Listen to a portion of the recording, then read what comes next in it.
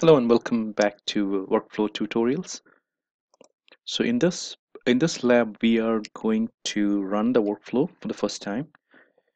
So normally the workflow is triggered either through some you know forms or some other you know or through business events. But in our you know since we are just building the building the process, we are going to run it manually. So our objective is to continue to build on the workflow vacation request. So make sure at this point you should have you know, workflow builder installed. As always there will be a zip file available for you to download.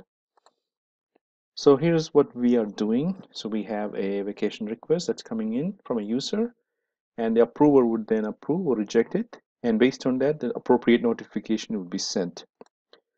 So if from our previous labs we we have done uh, we have built the uh, process we have built the attributes we have built the notification the messages and we have tied the messages to the notification and we have completed the workflow. And we have uploaded the workflow to the database. So the next step is to run the workflow from the uh, from the instance. So um, I'm using eBusiness.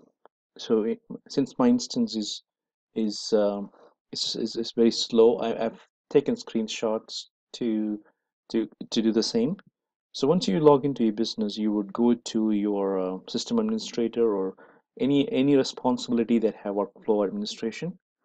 So first thing you would you want to check is you click on administration and see who is the um, who is the workflow system administrator.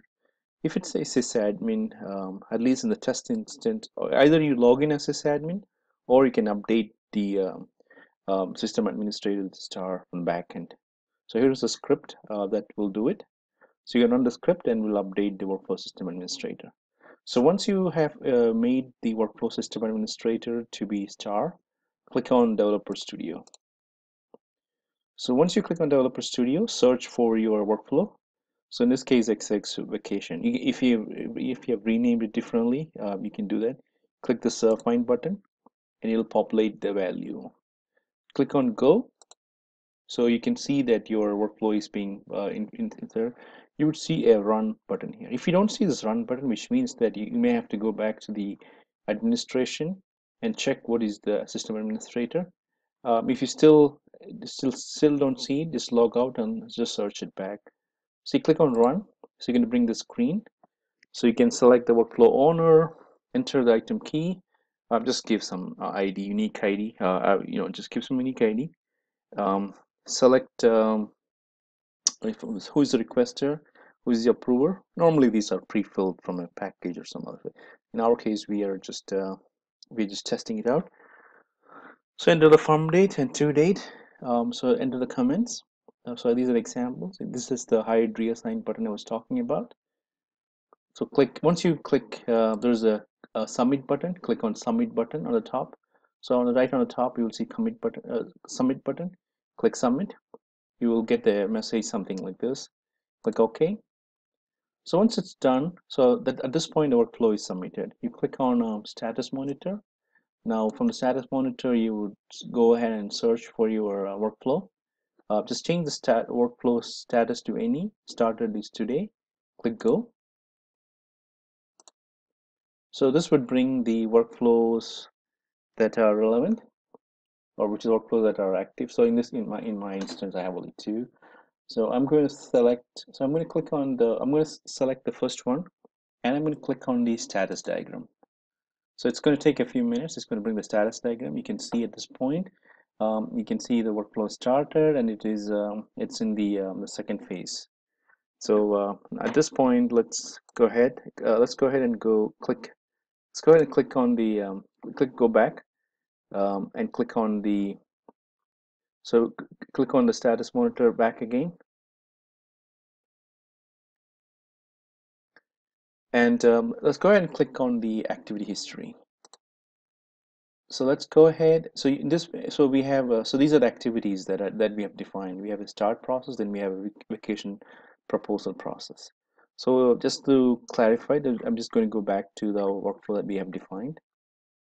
So this is what we have defined. So we have um, a vacation so currently at, at this point we are here. So the next is an action approve or reject. So let's go ahead. Let's go first open the so let's go first open notification. So notification looks something like this. You have the comments here let's first go ahead and approve it. So you can you can try differently you know you can can go back and do the same thing again with the reject but let's go ahead and approve it. So at this point you can come back and just requery it you would see the status is changing to complete. Let's go ahead and if you want you can check the uh, status diagram again. So the status diagram would say you know it took this path. So you can try different combinations uh, at this point uh, different workflow combinations so you know we would definitely um, we, we are going to definitely advance into more more functionalities. Um, so at this point um, so uh, we have tested the workflow. The you know you so I've I've only shown you the approved work approved process. Try the same thing with the reject. You would see that the the, the notification you know the notification is sent appropriately. Um, so um, so if you open if you go back and if you go back and uh, click uh, activity history. Uh, if you click on select click on activity history uh, you would see another notification.